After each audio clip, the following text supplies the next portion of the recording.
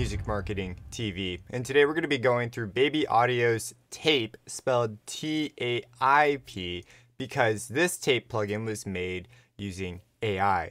So let's just go, let's give it a listen. So I have it on some clarinets and pianos here. So let's go ahead, let's just solo those up and just hear these. We'll turn the drive down a bit first. So that's what we're going to be using as our source input. And a couple cool things just right out the gate. So let's take the wear down, the noise down. We'll put the input on normal. So a bunch of cool options, sort of some streamlined workflow stuff. But at the beginning, you're presented with the gigantic drive knob and the output knob. And for what I'm going to be doing here, I'm going to turn off the auto gain, which will gain correct for you so you can make like meaningful uh, mixing decisions. Here we want to just hear what's going on with the plugin. So I'm just going to turn that off. And so let's just turn the drive down. This will reduce the volume. And we'll just push it all the way up.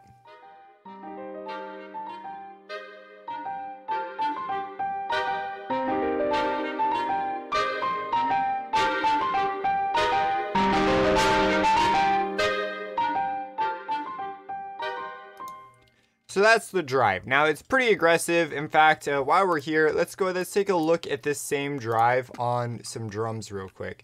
So I'm gonna come over here to the drum bus. I've already got one loaded up. We'll go ahead, we'll turn this on. And uh, just, just a similar, similar process here. We'll turn this way down as well.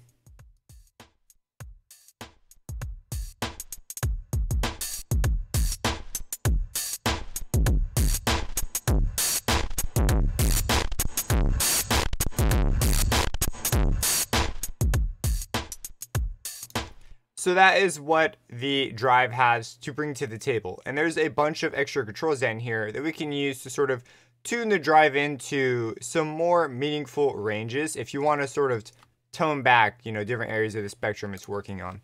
So we're going to go back over here to the clarinet channel.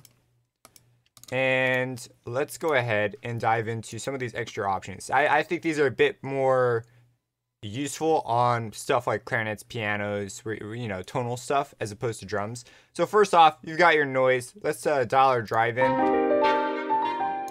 Where we have a little bit, but not too much. So noise, pretty self-explanatory. It's to bring in noise when the audio is present.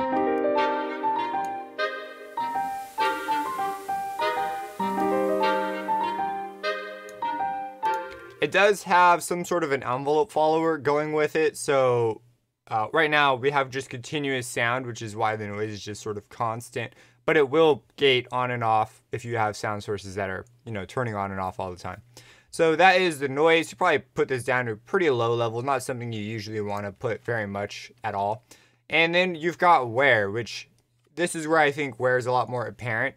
So it's just going to simulate wow, flutter, those sorts of things. They're going to hear some pitch unusualness and, you know, establishes a real nice lo-fi feel. So let's go ahead, let's just play this and I'll just style this up for you.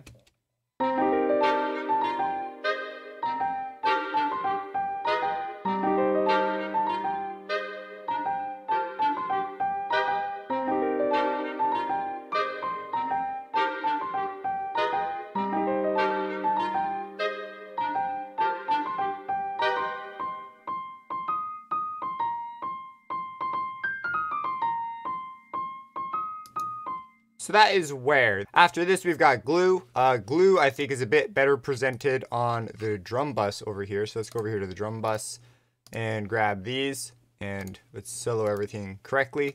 And so, okay, so glue, let's, let's bring our drive up a bit.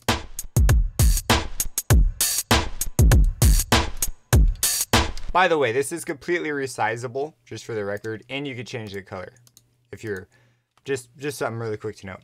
So we've got our drive sort of set up. It's sort of a nice spot. Now let's go ahead, let's bring the glue up. Basically, glue compressor, right? Just gonna bring things together for you.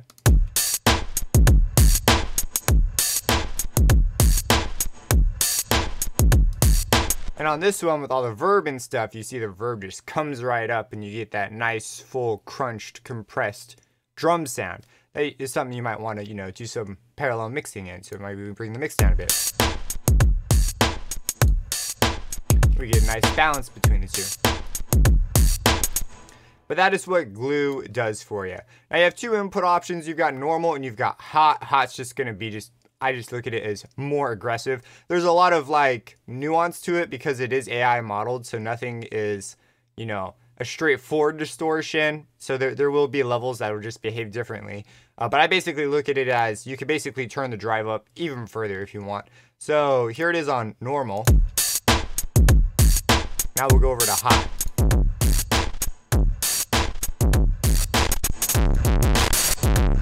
Over at normal. This is hot. Now at a lower value, makes a much bigger difference. Which kind of makes sense when you think about it from the modeling perspective. Once things saturate, they're kind of they're kind of just saturated. It doesn't matter if you hit it hot or soft. So that is the input. Up next, we have the models. So there is a single model and a dual model. And let me just play them for you, ABM. Uh, this isn't something I typically notice a massive difference with. Uh, so it's not something I find myself touching all that often. Here is single.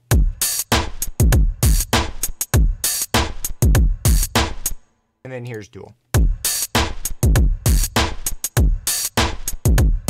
So you get more low end on that one. If we go back to single.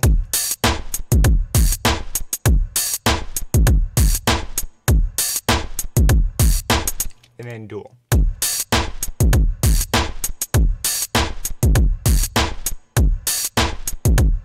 So those are the models. After that, we have the different shape controls. There's a low shape and a high shape which is sort of an EQ, plus it interacts with the distortion. So let me just uh, show you here. So I'll just pump this up and then I'll bring it down on the low end.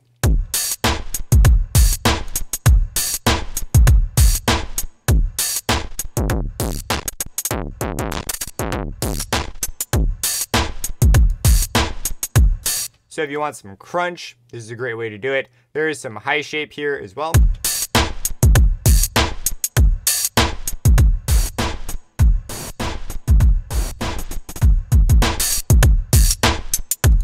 And then a really nice thing you can do is you can add some presence, which is, I believe this is just an EQ boost. There might be some fancier stuff going on under the hood. I'm not entirely sure, but that's how I kind of view it. Just touch up, for example, in the hi-hats here, hi-hats are really going to benefit from this.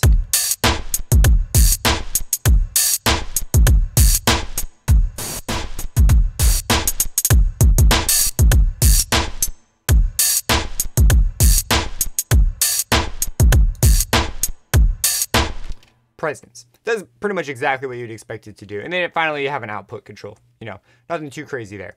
So some settings that I find myself going to quite often, and this is something, I, the auto gain is cool. Sometimes I leave it on, but sometimes I like to use this as a gain stage. So with drums, I'll typically leave the wear off. Uh, I don't find wear very beneficial here. But what I do like to do is bring that glue up, find a nice drive setting, and then bring the low and high shape all the way up to 100.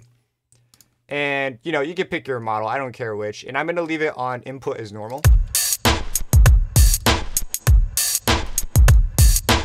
And then this kind of opens up the drive to be a bit more sensitive of a control. Like you can move it a bit more aggressively and it's not going to, you know, change so much.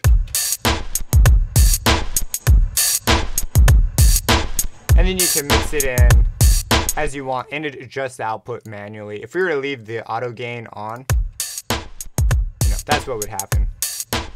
And then I'd end up, you know, boosting in post. So I typically will just leave this off.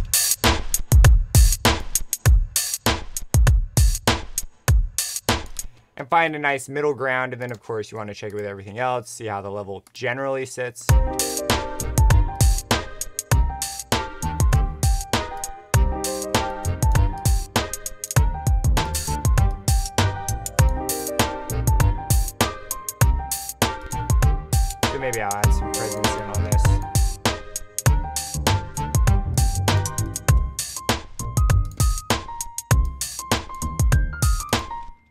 And so on and so forth. Thus goes the workflow.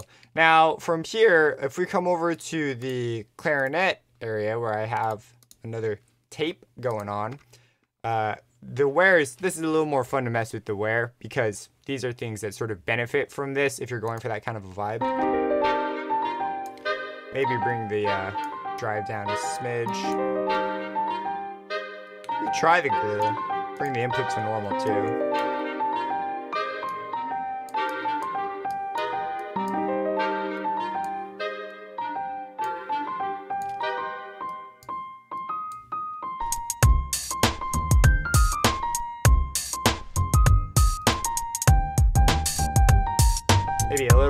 On the wear.